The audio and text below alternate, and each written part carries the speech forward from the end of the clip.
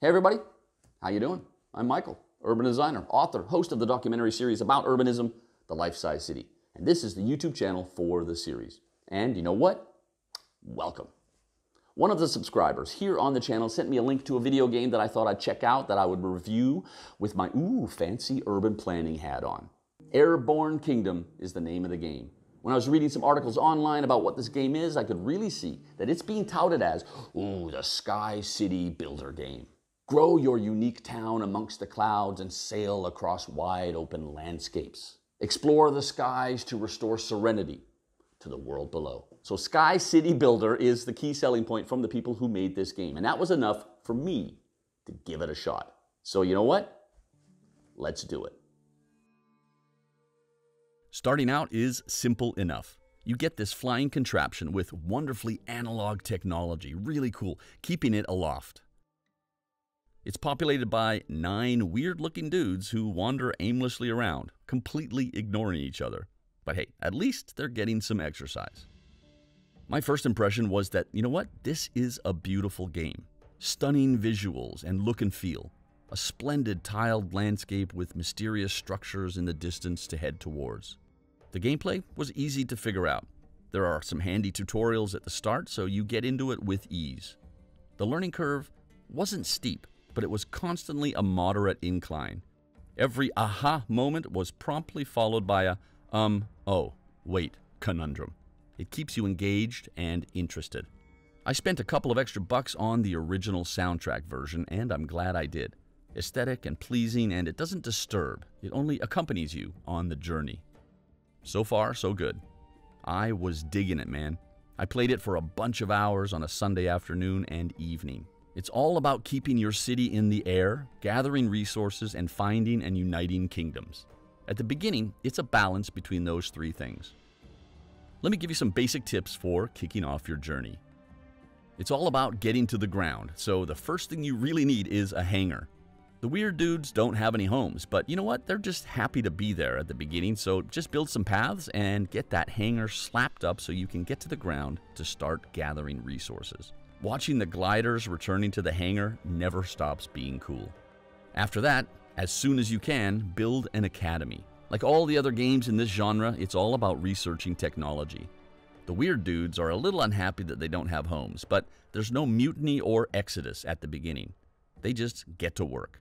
You can build a few homes to keep some of them satisfied if you want. Keep an eye on their satisfaction levels.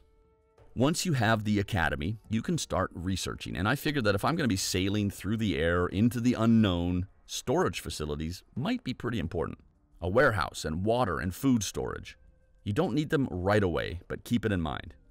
And research increasing your coal storage early on as well. It's all about the coal and keeping the damn Sky City in the air. I'd recommend getting a second hangar as soon as possible, but while some structures only require wood, a second hangar requires other building materials. So you'll need to research that right off the bat. You'll figure it out. But two hangars early on is advantageous because as you're flying around, you can quickly send a whole bunch of weird dudes down to clear cut forests, drain oases, find relics in the ruins, and gather all the resources you need. Then I figured that density is, as it always is, important in a city so early on, I researched housing in order to be able to add levels on existing homes. Each house has a huge footprint and it adds to the weight, so I figured adding stories on top would be beneficial for both weight limitation and space management. There are limited things to research at the beginning, of course, until you start exploring and discovering and developing technology, so ramp up your storage facilities and your ability to gather resources early on. You can also research how to increase the speed with which the weird dudes gather resources. It's pretty handy. The pros of this game are the design, the visuals, the aesthetics, the gameplay that keeps you involved. It is so enjoyable. Now, I came into this game with an urban planning focus, so the primary con, for me, is the fact that this isn't really a city building game, even though they call it that. After I was over the first hump and got established, I spent so little time focusing on my city. Most of the effort goes into scanning the ground for resources and sailing towards kingdoms to figure out what the hell it is they want. A lot of the time, the flying city wasn't even on my screen. I was scrolling into the distance to find resources. Another con is probably just personal. The gameplay is pretty slow moving. As you get into it, you can speed up your propulsion and move faster from A to B, but it's still kind of slow. You have people who join your city from the ground, so your population grows, and that, of course, puts a strain on your resources and the weight of your flying city. There is some goal of reaching a population of 150 citizens, but I found it difficult to find these people on the ground. I think I had about 50 people at some point, but newcomers were few and far between. So I'm looking forward to going back and trying to figure that one out. In the first long game I played, I felt like I was owning it.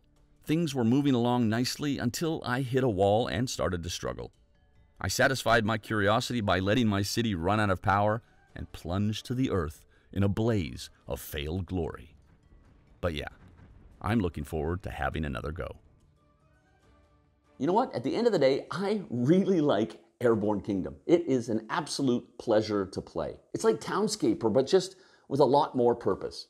But yeah, city builder games, man, they are super hot. And it's almost like the designers of Airborne Kingdom are really using those three words to sell this product. But I have a hard time seeing how it is really a city builder game. 80% of my focus was scouring the earth for resources or searching for distant kingdoms and solving all the puzzles and the riddles involved. If you like strategy games, man, you are gonna love Airborne Kingdom. But if you're coming at it because you heard it was a city builder game, you might be a little bit disappointed, as I was. Still, I am glad to have tried it and I am happy to recommend it. Just be sure you know what you're getting into. That's it for me for today. I have some actual urban planning waiting for me over at my desk. Colville-Andersen is out. Thanks for watching, and I'll see you next time.